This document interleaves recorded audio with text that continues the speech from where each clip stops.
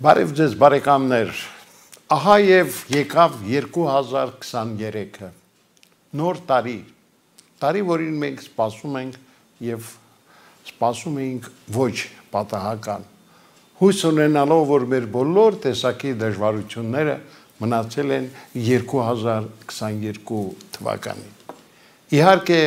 միշտ էլ նոր տարին դիմավորելով ուզում ես որ այն լինի երջանիկ եւ քո ժողովրդի եւ քո երկրի եւ իհարկե անձամ քեզ համար։ Ինձ համար 2023-ը ձեզ պիտի ասեմ, որ շատ էսպես կարևոր է։ Լրանում է 50 տարի այն օրից, ինչ արդեն առնչվում եմ հերոստատեսությանը։ Գիտեք,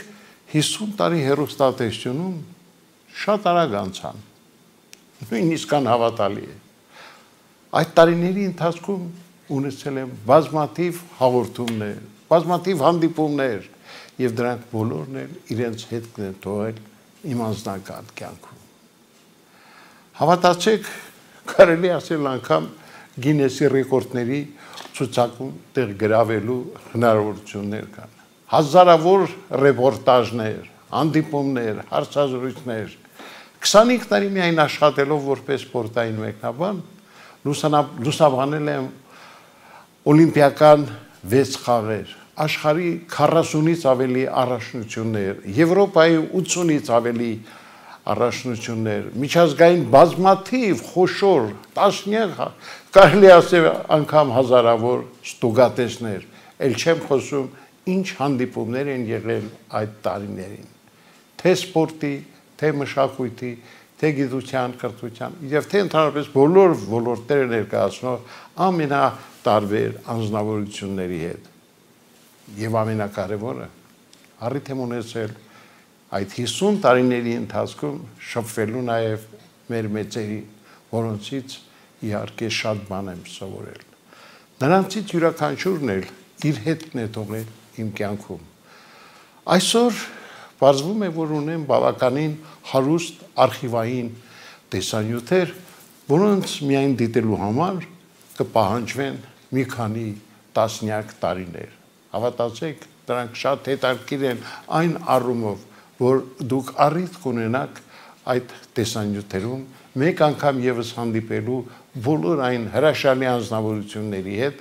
որոնք ոչ միայն մեր ազգի մեծությունն են եղել, այլ նաև նրանցից սովորելու իսկապես շատ բան է եղել։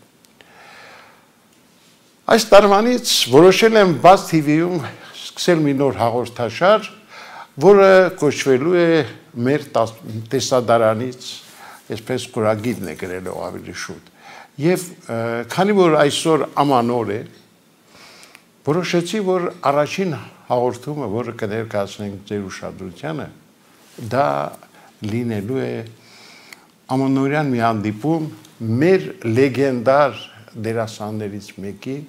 խորթային միության ժողովրդական արտիստ պետական մրցանակների դափնեկիր Խորեր Աբրահամյանի հետ 2000 թվականին, այսինքն երբ սկսվեց նոր հազարամյակը, ամանորին երկրորդ օրը ես տաղավար էի հրավիրել Խորեր Աբրահամյանին։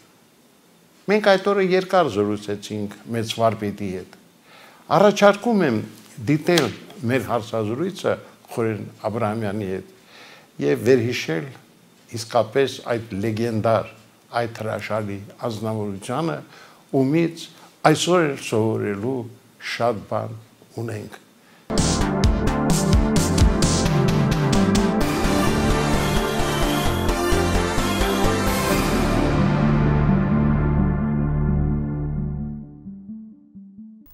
Դե իհարկե դուք արդեն կրայեցիք, որ մեր ծրագրի հյուրը Խորեն Աբ รา համյանն է, Հորթային միության ժողովրդական արտիստ, պետական մրցանակների դափնեկիր, պարոն Աբրահամյան, շատ ուրախ եմ, որ նոր տարվա առաջին օրերին նորից հանդիպել ենք, որովհետև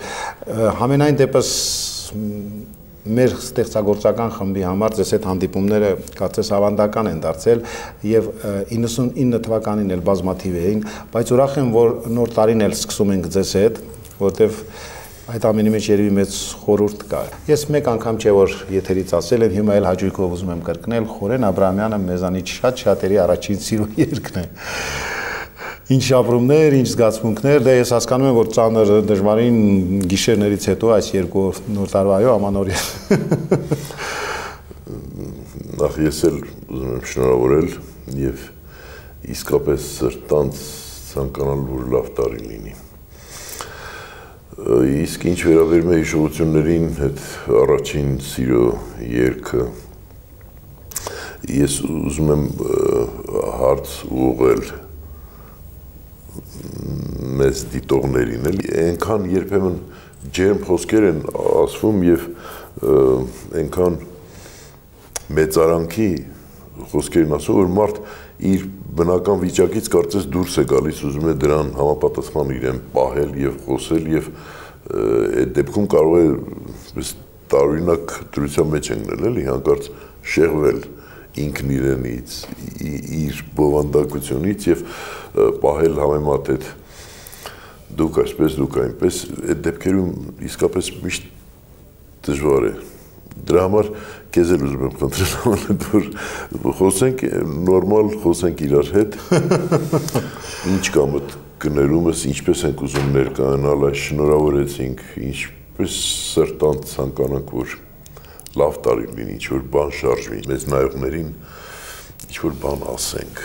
ինչ ասենք էլի, մեզ չհնարենք, բաներ չխոսենք, այլ ճիշտ խոսենք եւ կարողանանք Աչե դժվար էլի, որովհետև ամեն ինչ ամեն ինչ ասվել է։ Ուրեմն միտքս ընկավ են գիքորը հիշում ես պես վերջանում, ասում բոլորը բոլորը կան, ասում եմ, միայն նա չկա, հիմա բոլորս կանք, բոլորս կանք սովորական իրադրություն է։ Ես էլ ինձ հյուր չեմ զգում, Համլետ։ Արդեն հյուրը մի անգամ կգա, հյուրը երկու անգամ կգա, բայց երբ որ դա արդեն հաճախ է դառնում, ուրեմն էլ ինչ հյուր Ուրեմն տան մարդ, չէ՞, տենց։ Դե դրա համար էլ մենք ձեզ սուրճ չենք տալիս, այլ հյութով ենք հյուրասիրում, որ դուք տան տան նման զգաք։ Այնուամենայնիվ ես ուզում եմ, որ մենք անդրադառնանք առաջին սիրո երկին նորից, որովհետև իրոք այս ֆիլմը մեր հայկական կինոյի պատմության մեջ կմնա որպես լավագույններից մեկը։ Եվ ես ինքս միշտ այն մտքի վրա ինձ բազմից եմ բռնացրել, որ որքան նայում ես նայվում է, գիտեք, Եվ ամեն անգամ ինչ որ մի նոր բան հայտնում, հայտնաբերում եմ ինձ համար, չգիտեմ։ Դա երևի հետաքրիր բան է, թե իսկապես ես էլ անհամեցություն չլինի, ես էլ տեսնում եմ, որ կարծեք թե այդ ֆիլմի նկատմամբ հետաքրությունը չի պաղում, չի չի անցնում։ Բայց էլի մի քիչ վախենում եմ, էլի ուզում եմ հարցնել հիմա, այս մեր դիտող, այս մեր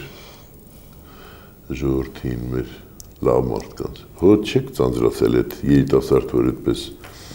դու անխավար լույսի տուն Երևանն հոտ Բայց Երևանն է, մեր Երևանը։ Երևի գաղտնիքը դրա մեջ է, որովհետև վերջի վերջը հա, մեր Երևանն է։ Դա ինչ որ անձնավորության հետ չի կապված եւ ֆիլմն էլ որպես ֆիլմ չի, որ այսինքն ֆիլմի գեղարվեստական արժեքը այդպես մինչև երկինք չի հասնում, էլի, որ ասենք թե այս ֆիլմից դեն էլ աշխարհ չկա ուղղակի կարծում եմ, որ մեր անցյալը, մեր Երևանը, մեր սիրելի, սիրելի Երևանը, երևի դա է, որ գրավում է, որովհետև Երևանի մասին է, Երևանի մարդկանց մասին է։ Հիմա էլ Երևանն է, Երևան է, հիմա էլ Երևանը մեր հույս ու հավատն է, բայց այն թվերի Երևանը ինչ որ մի բանով տարբերվում էր, չէ առանձնանում էր։ Էլի նոր տարի էր, էլի ինչ որ տոներ էին լինում։ Էլի կային անհանգստացնող բաներ կային։ Վերջի վերջո ես երեխայի, որ համաշխարհային երկրորդ պատերազմը սկսեց, ես դա տեսել եմ։ Էլի դժվարություններ կային, էլի ունե որ չունե որ կար։ Էլի այնպես չէր որ բոլորը հեշտ ու հանգիստ։ Բայց ինչ որ մի տակ մի ջերմ բան կար Երևանում, որ երբեմն ես նայում եմ թե հո դա չի կորչում, հո դա չի կորչելու, հո կյանք իր բարդություններով եւ այլն մարդուն, Երևանցուն, հային, հո չի կոտրելու, հո չի փոխելու ինչ որ այդ ջերմությունը, եթե ջերմություն չլինի,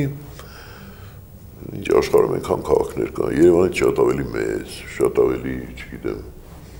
հզոր, ավելի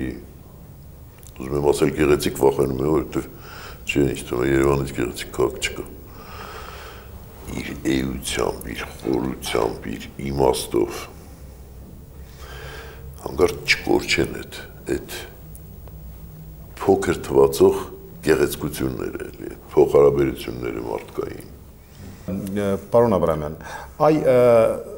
Ամանորից զորաբար բոլորս էլ շնորհավորանքներ ենք ստանում, իսկ մեկս մյուսի շնորհավորում ենք։ Այ դուք այս երկու օրերի ընթացքում ինչ որ արտասովոր բան տեսել եք, այնուամենայնիվ 2000 թվական նոր հազարամյակ ինչպիսին եք դա պատկերացնում։ Գիտես, Համլետ, ինչ-որ բարդ հարց ես տալիս։ 2000 երբ ես երեխա էի, իսկ այդպեսի մի բան կա։ Ես էլ եմ երեխա եղել։ Եվ Լենին պապին էլ մանուկ է եղել։ Հա, այն ժամանակ ընդհանրապես 2000 թիվ ինձ այդպես ինչ որ մի առասպել էր, ինչ էր էլի մի օտար անցա 2000 թիվ ինձ թվում էր որ դա դա այդպես պետք է լինի, էլի, պետք է լինի, բայց կլինի, չի լինի, հիմա եղավ 2000 թիվ կատարվեց իհարկե մտորումների առիթներ շատ կան իհարկե այնքան են ասել արդեն ես էլ չեմ ուզում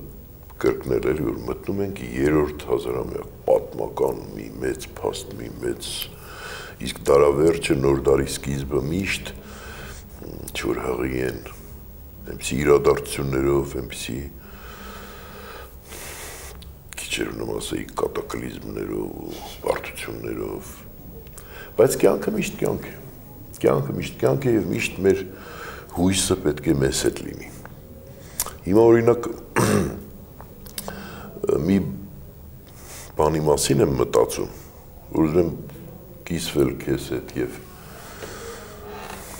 այն մարդկանց հետ, որ նայում են մեզ։ Եթե չեմ սխալվում, ինչ-որ խոսակցություններ էին լինում եւ ամենաբարձր մակարդակով այն մասին, որ 2000 թվականը պետք է դժվար լինի։ Գուցե ավելի դժվար, քան նախորդ տարիները։ Այո ես այդ առիթով մտածում եմ եւ ուզում եմ կիսվել ինչ որ մի հակաբնական բան եմ տեսնում դրա մեջ ինչպես կարող է գալիք տարին կանխատեսվել, կանխագուշակվել որպես ավելի դժվար տարի։ Չես հասկանում եմ, որ իհարկե կարելի է հաշվարկել, որ ասենք SSSS հանգամանքները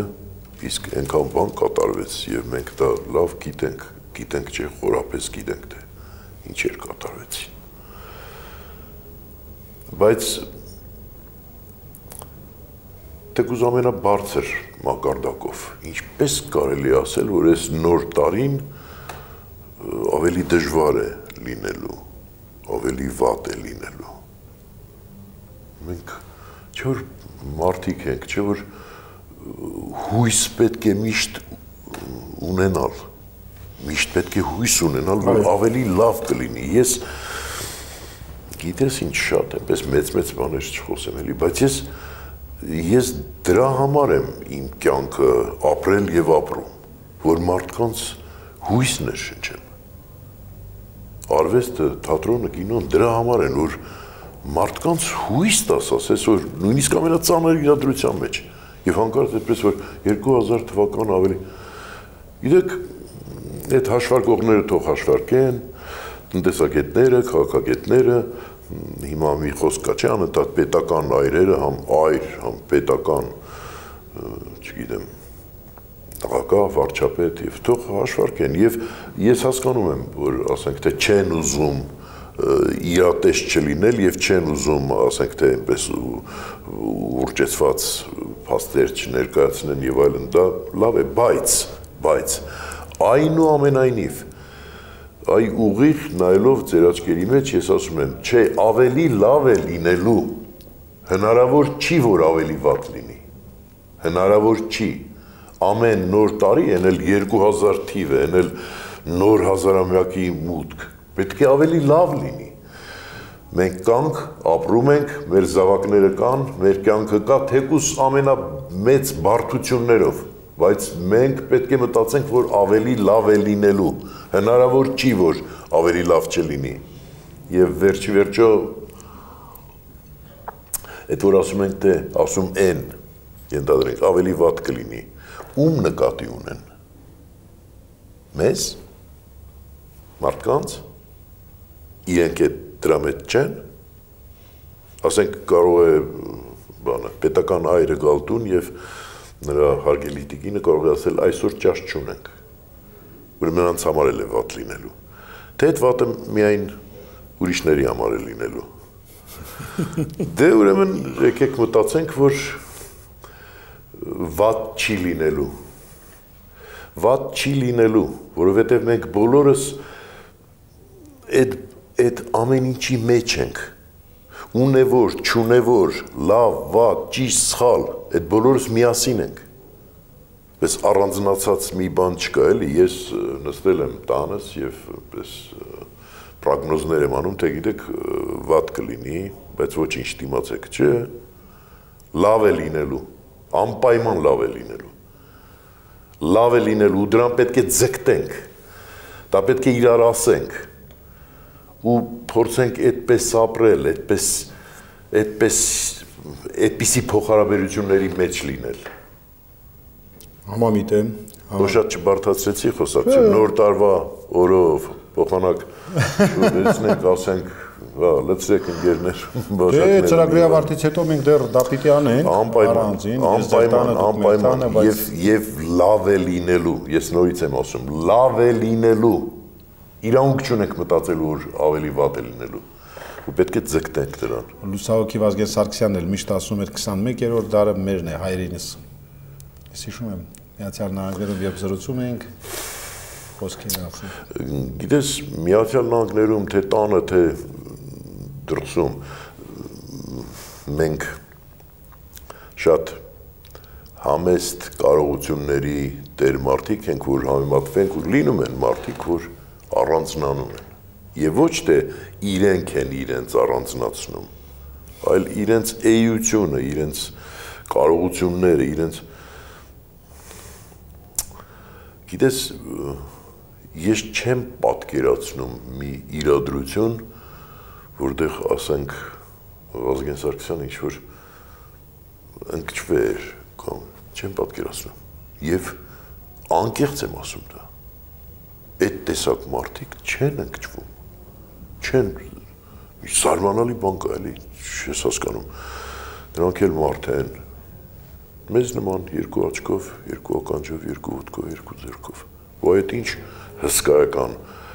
հոգեկան ուժ կա, այդ ինչ լույս կա, որ ստիպում է նայել առաջ ամենաբարդ իրադրությունների մեջ։ Այս հենց դա եմ ուզում ասել ձեզ։ Հնարավոր է որ կյանքը իր բարդությունները եւ այլն, ամեն ինչ հնարավոր է։ Բայց մենք ինչու նախորոք մտածենք, թե չգիտեմ ինչ է լինելու։ Լավ է լինելու, լավ, շատ լավ։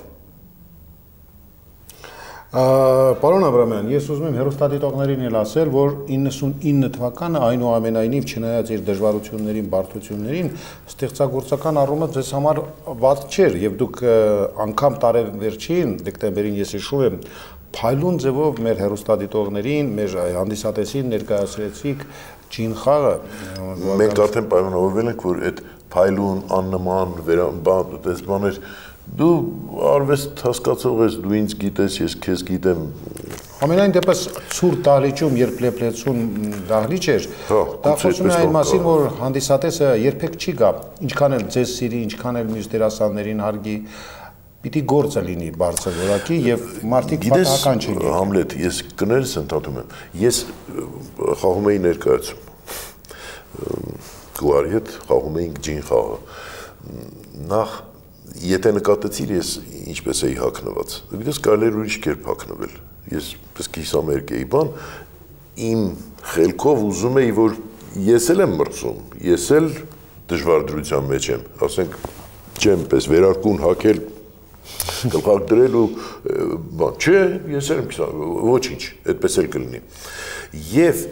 այդ ժամանակ ես մտածում էի, որ չգիտեմ, քանի րոպեն մեկ ես պետք է թողնեմ ներկայացումը ու դիմեմ դահլիճին, ասեմ շնորհակալություն որովհետև ես չգիտեմ իսկապես Համլետ, որևէ երկիր, որևէ եվրոպական երկիր, որևէ Ամերիկա, որևէ, չգիտեմ, ինչ, որտեղ մարդիկ մրց գիտես հետո շնորհավորքներ էին անում եւ այլ համարյա բոլորը միաբերան ասում էին հիվանդացանք ուրիշ մարդ եւ հետո մենք երբեմն թույլ ենք տալիս թե գիտեք պայմանները ծան են դրա համար մարդիկ չգիտես ինչ չկա այդ տեսակ բան մեր ժողովուրդը ինչ որ մի զարմանալի բան էլ այդ զարմանալի բաներից մեկն է դեր նայում էի դալիճին եւ շատ տարբեր հասակի իմաստով շահելներ, համարե երեխաներ եւ այլն ու բոլորը նստած նայում են կեցեք դուք բա մենք ուրեմն հնարավոր անհնար ամեն ինչ պետք է անենք որ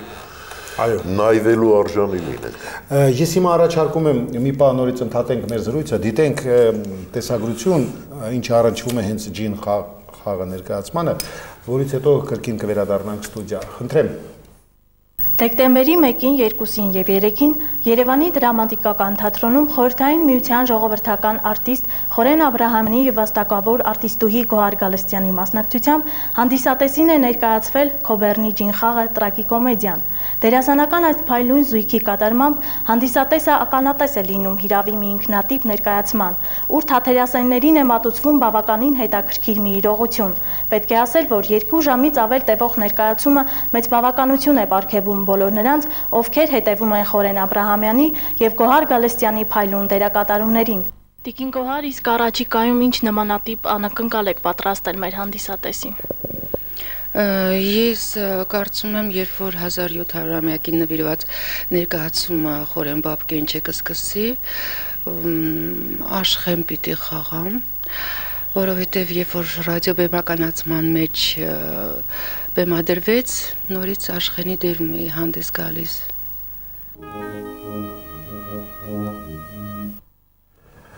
Պարոն Աբրամյան, ես նախ ուզում եմ Գոհար Գալստյանին էլ շնորհավորել նոր տարվա արդիվ, գիտեմ որ մեր ծրագիրը դիտում է։ Սիրելի Գոհար, թող քեզ համար իրոք 2000 թվականը լինի գեղեցիկ հաջողությունների տարի ես չեմ կասկածում, որ դուք դեռ մեզ պիտի ուրախացնեք։ Ժապավենում մեր թղթակից Աստղիկ Ալավերյանը հարցրեց Տիկին Գոհար, ինչպիսի խաղընկեր է Խորեն Աբրահամյանը, իսկ պարոն Աբրահամյան, ինչպիսի խաղընկեր է Գոհար Գալստյանը։ Ես նախ ուրախ եմ, որ Գոհարը այդպես խոսեց, չնայած էլի ուզում եմ ասել, որ այդ գիտես, Համլետ, արի մի հաղորդում խոսենք այդ բաների մասին, այդ հասկացողությունների, էլի։ Ինչ բան է համեստությունը, ինչ բան է մեծամտությունը, ինչ բան է գոռոզությունը, ինչ բան է էլի, երբ որ մարդ ինքը կարծում է թե ինքը, չգիտեմ, ինչ է, եւ մեջը վախ չկա ներկայանալու։ Երբ ներկայացումից առաջ ես ահաբեկվել խոսքը գուցե չափազանցված է, բայց այդպիսի դրության մեջ եմ լինում, գոհարը զարմացած նայում էր, էլի հո չեմ ձևացնում, ինչպես կարելի է 50 տարուց ավել ու այդպես ես վստահեցնում եմ քեզ, որ եթե դա չլինի, բան դուրս չի գա։ Ես երբեմն երբ տեսնում եմ էլի որ այնպես են խոսում, այնպես են ասում, այնպես էլ զարմանում եմ թե ոնց բան չկա, այն երկյուղը, որ կլինի թե չի լինի, դա ախր հրաշք է, դա ոչ մեկը բան չունի, գարանտիա չունի, էլի, որ ինքը հիմա պետք է դուրս գա եւ չգիտեմ ինչ։ Չէ, անկասկած պետք է սեփական ուժերի նկատմամբ մի քիչ վստահություն ունենաս, բայց երկյուղը, որ կլինի թե չի լինի, կլինի թե չի լինի, հիմա հանգարց մարդիկ կվերկենան այս սրտին, այս բան, դուրս գան ու կասեն հետաքրքիր չի, չենք ուզում նայել։ Եվ երբ որ ինչ որ բան է կայանում, դրա համար չեմ ուզում էլի ի պատասխան գարի ինձ ընդհակառակը դուր եկա որ ասեց կարծես թե ստացվեց կեցես գոհար այդպես պետք է մտածել, այդպես պետք է խոսել, այդպես թե չէ, գիտեք, այն ես եմ որ կամ հիմա գիտեք, ես այնպես բաներ եմ անել, որ բոլորդ չգիտեմ ինչ։ Կարծես թե կարծես թե կարծես թե դա հաջողություն էր, կարծես թե ասելիքը կիսվեց։ Գիտես, Համլետ